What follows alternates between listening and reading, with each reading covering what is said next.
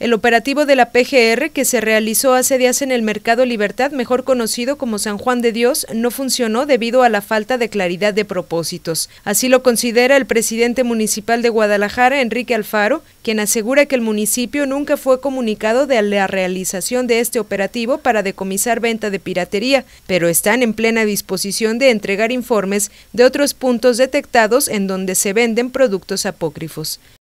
Nosotros lo que vamos a darle a las autoridades federales es información no solamente de ese mercado, la información que tenemos respecto al comercio en la vía pública, en los tianguis, eh, pero la responsabilidad respecto al tema de piratería es de otra instancia de gobierno eh, y ese operativo San Juan de Dios me parece que una vez más demuestra que este, no hay claridad de propósitos ni de eh, cómo entrarle a un, a un asunto de esta naturaleza. Nosotros no estábamos enterados del operativo.